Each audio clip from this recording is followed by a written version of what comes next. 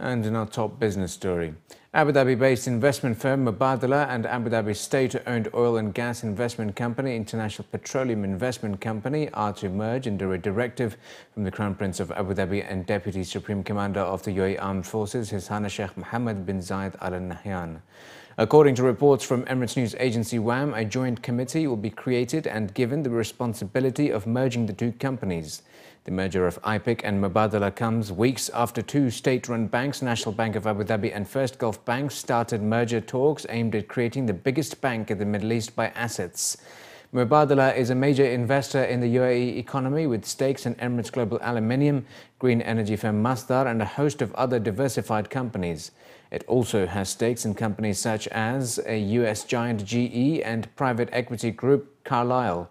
IPIC has mainly stakes in energy companies such as Austria's OMV and petrochemical firm Borealis. The Investment Corporation of Dubai, which holds stakes in some of the Emirates' top companies, posted a 3.7% drop in profit last year as revenue from oil and gas products and services fell. The profit attributable to equity holders of the company slipped to 22.90 billion dirhams in 2015 from 23.79 billion dirhams in the prior year, according to an earnings statement posted on Dubai Stock Exchange. Revenue from oil and gas products and services sank to 49.67 billion dirhams in 2015 compared with 71.20 billion dirhams in the year earlier. The state-owned Investment Corporation of Dubai has stakes in some of the Emirates' highest-profile brands, including Emirates Airline, Emaar Properties and Emirates NBD. In August 2015, 100% ownership of low-cost carrier Fly Dubai was transferred to ICD following a decree by the ruler of Dubai, His Highness Sheikh Mohammed bin Rashid Al Maktoum.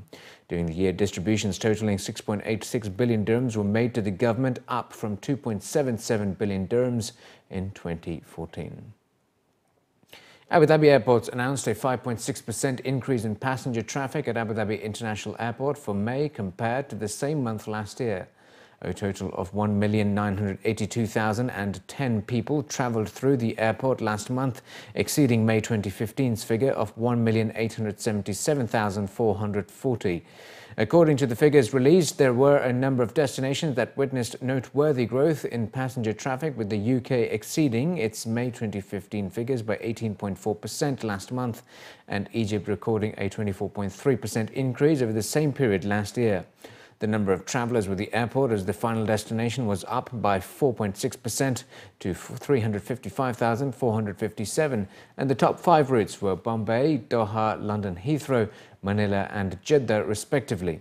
Arrival and departure transfers both showed an increase of 7.5% and 7.7%, while the total number of transfer passengers recorded was 1,279,599, up by 7.6%, which according to the airport operator reflects its connectivity and position as a global hub. About 10,000 new hotel rooms will open in Dubai throughout 2016, according to a new Dubai hotel market overview prepared by JLL for the Hotel Show Dubai. The report reveals that 621 new hotel rooms opened in Dubai during the first quarter of the year, with 9,400 rooms expected to be added to the market by the end of the year. Last month, Dubai hit the 100,000 hotel rooms milestone as the city aims to cement itself as a top 10 global destination in terms of available supply.